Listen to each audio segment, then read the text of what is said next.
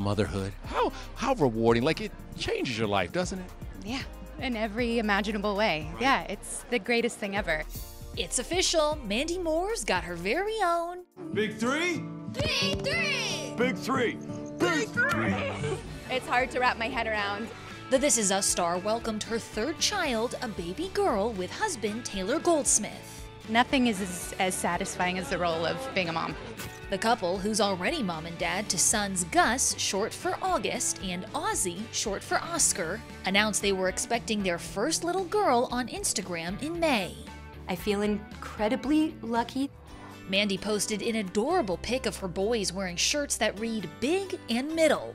Alongside it, she wrote, Sometimes life imitates art. The third in our own big three coming soon. Can't wait for these boys to have a baby sister. The big three, it just blows my mind. Yeah, Mandy's no stranger to being mom to another big three when she played Rebecca Pearson on This Is Us.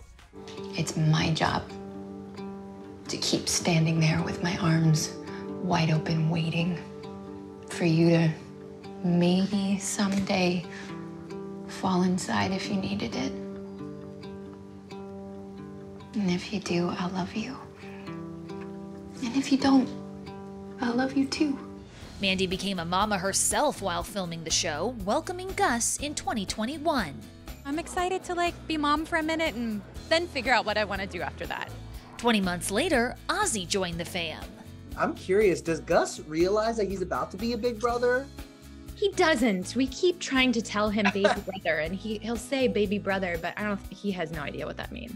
Um, and I feel like he's so young that he won't really remember life before being a brother, which is kind of cool. I'm like, wow, man, you will have had 20 months of being, you know, a, a, a solo dude, and you'll never you'll never know that. You'll only know life with your little brother. But um, we'll see. I'm excited. And ever since, Mandy's been embracing the mom life. I feel like we're kind of in our like family home now finally and like getting settled That's a and good feeling. yeah. Yeah. And like setting down roots, which is exciting, you know? As far as her fame goes, she's totally accepted the fact that her little ones aren't all that impressed. My son has not seen a ton of movies, but he does love cars. But Rapunzel it was just like blank. He had no idea. I've asked him to watch Tangled and he has no interest. Maybe one day it will be exciting to him that mom knows Rapunzel really well, but like at this point in his life, he's like, couldn't care less. Only time will tell if Mandy and Taylor's new bundle of joy will become the Tangled fan she's been waiting for. But until then, cheers to the happy couple and baby number three.